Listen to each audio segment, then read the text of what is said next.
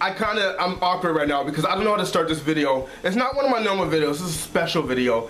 So I know you guys are watching, but also this is a VidCon judge watching me right now. Like, I'm on my best behavior right now. Like, I'm gonna sit up straight, I'm gonna look straight into the camera lens, I'm gonna have my proper face on, and I'm ready to do this. So my name is Leo Williams, and I've been going to VidCon for the last, like, five or five years, and I've been having the time of my life.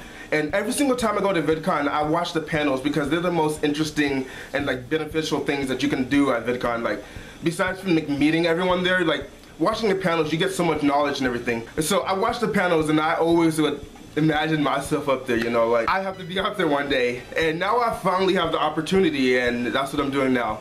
And I know what you guys are probably thinking, Leo, why did you make your video literally the day before the deadline?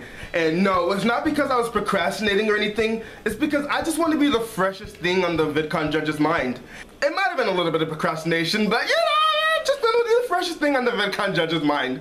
So I'm gonna answer a few questions on how it is to be a less than famous YouTuber.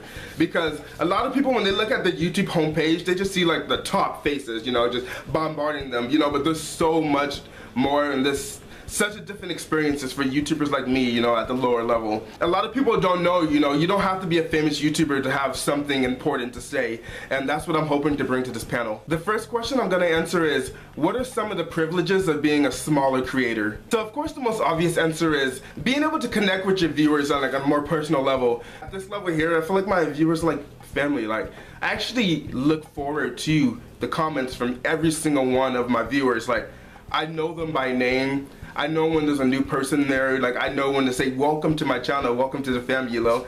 That's a really, that's a really good feeling. But what most people don't say is that I actually feel that being a smaller creator, you, it benefits you on a creative level as well. If you're a big YouTuber, especially if you're known for one thing, like if you're known for prank videos, like you're not going to be able to do something else. I mean, you can, but it might have a jarring effect in your community, you know? But now, like, being a smaller YouTuber, like, I, I'm free to experiment with it, everything that I love to do because I get to find myself, which is just, it's so freeing. When I first started making YouTube videos, I started off with these big dynamic skits. I'd wear like 17 wigs per video and play every single character and do like split screens and stuff like that.